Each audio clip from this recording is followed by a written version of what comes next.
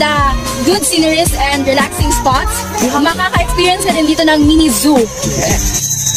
Bibitaw ng mahinahon ako ba'y Lulubayan ng ating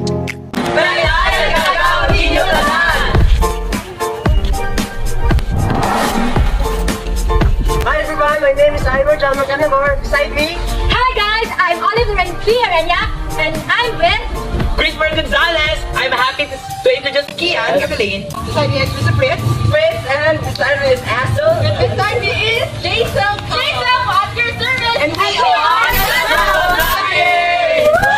Hi everyone! So, nandito kami ngayon sa playground ng Lezo. Ooh, ang cool ng playground nila. So colorful.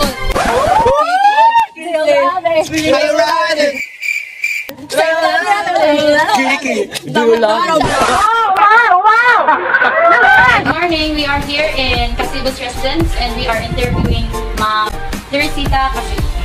Welcome to our home. Can you describe or can you enumerate the basic or the places, the spots? We have our famous Bayangan, our pottery making area. Hi everyone! We're here at the pottery site where the people are doing their work. Ano po pinagkaiba ng spots ng Lezo sa ibang lugar? Tapos ng iso, matibay. Tapos, maganda yung mga design. Hindi na maano yung design dito. So magkano yung isang pot nyo? Alam mo, ayan, yung ginagawa nyo. Uh, ganyan, ganyan kalaki 15 pesos. 50 pesos. Mura lang pala. Ano niluluto ko yan? Mm. Ang dami pang kapit na gamitin. Ano ko siya? Ano ko siya? Pwede ko mag-try. So ayan, ano na, ano na tapos mo dyan? Mahirap siya. Kala ko ang dali lang. Hindi ako marunong. Si Jenner on her, ano pa lang, um, rookie handing. So, how was your experience? Ba- akala ko ang dali, pero ay kapag manual na siya, ang hirap pala. Pero kapag masasanay ka siguro, pero si ante, 25 years na siya, ilang years na po ba? 25 years na siyang gumagawa, pero pero parang mani-mani lang sa kanya to. Ano bang feeling kada hawak mo sa ano na yan? Um, kasi kung sabi nga, may nagsabi kasi sa akin, kapag love mo daw yung ginagawa mo, walang, ano, walang mahirap. Oh! Doon na tayo focus sa kabila. So yung mga figurines po ba na ito ay gawa rin sa kaang o yung parang clay? Oh. Yung pakit yung sinturahan. So usually sa inyo nila sa mga drawing sa garden. Ano galing yung name na bayangan? Dati ka lang ano Oh. Talaga naman tawag nito eh. Bayang. Bayang. Bayang naman po talaga yung tawag sa Bayangan. sa bayangan. Ano ba? Sino kung ikaw kay bayang? Oh!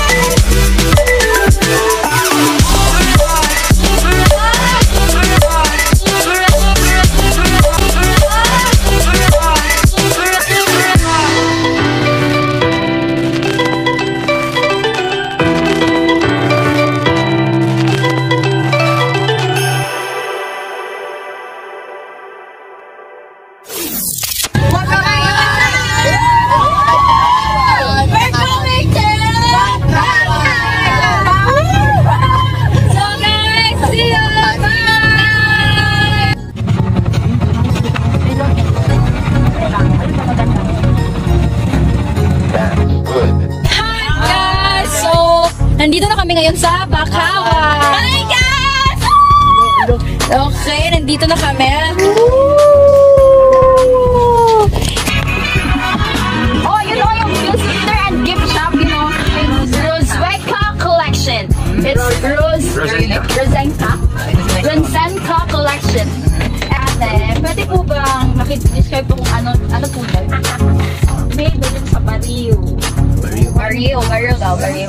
Magkano po yung ganito? Ito po, 60 peso, 60, 60. Eh, about ito po. Ha, It's 95, then here, keychains, we love keychain. About this, 160, 160, 160. Then wallet, 65. Then Kian, I take over. What's about? So, ito, this one catches my eyes. So, these are like lalagyan na made from abakan, other organic materials here from Baclan. So, bukod sa matibay ito, ito yung pinagmamalaking produkto nila. Is it right, ate? Yeah. So, it was made from different organic materials like I said before. And then, it cost very affordable price, like 25 And this one, I'm so curious about this. Is this like tabu? Ito yung bagol. Ito ba yung bagol? Coconut shell siya na ginawa na binilad. Tapos, ginawang ano, Customize siya as customize as a packet. Ito, Kian, you want this? I know. Yeah. Sukatin mo, sukatin mo. Does it look good on me? Yes, it's good. I. Yes, you can try that. I can try this.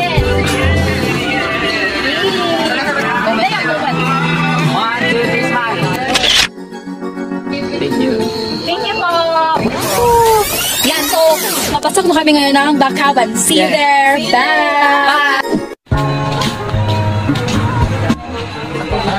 Kapungan na planon. Yes. So, we have different kinds of pieces of mango. 100 na yun. Lalaki. So ano po pinagkaiba ng Bakawan dito sa Kalibot kaysa doon sa Bakawan sa Ibakay? Mas magandang aming video kasi it's a man-made pole. Yes, nauna tong tinanim dito sa Dado. Mga 1990 kami nag-start, so mga 28 years na siya. Thank you po. Hi guys! it's Makawan. As you can see, it's all green, it's all everything. It's so leafy, leafy, leafy. Yeah. It's so peaceful. Yes! And it's so, so, so. Come here, Russell! Say hi! Hi. Hi! So as you can see, um, tatlo lang kami ngayon. Na- Nauna na yung iba. Oo, so we are here to perform montages. So Yes. better watch out for that. Peace. That's all. Thank you! Kung gusto nyong mag-relax at makakita ng mga gandang scenery para sa Instagram nyo, just visit Bakawan Eco Park. It has entrance though. For students, 30 pesos. And for random people or tourists, 50 or 100. So guys, nandito tayo ngayon as you can see. Nandito we, have, we are here to meet Christian. Hi Christian! Hi! So, oh my God, buhay pa pa. Aside from the good sceneries and relaxing spots, makaka-experience ka din dito ng mini zoo. Be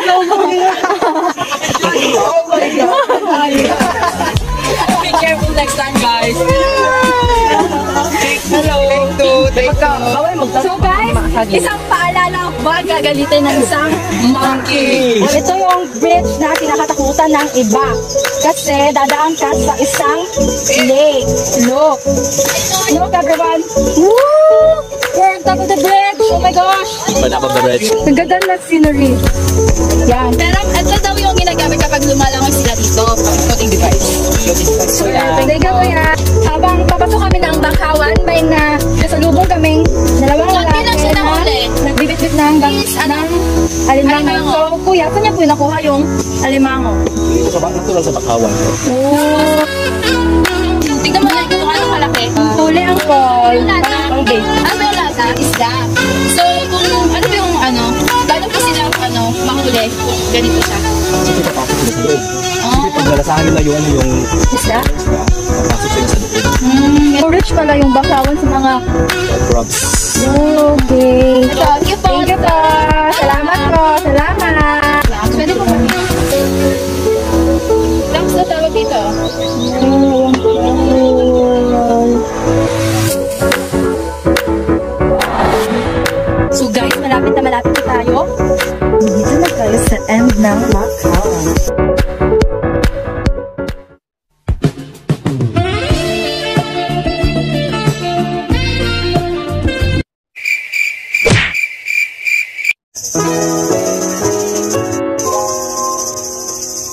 Hi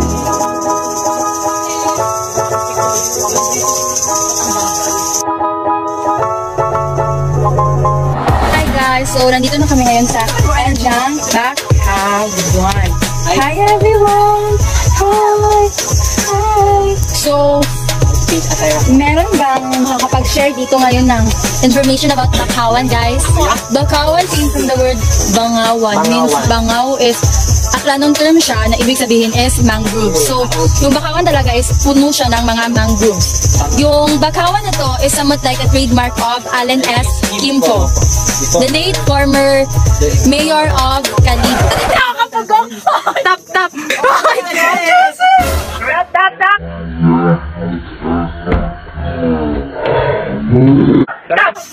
Ganyan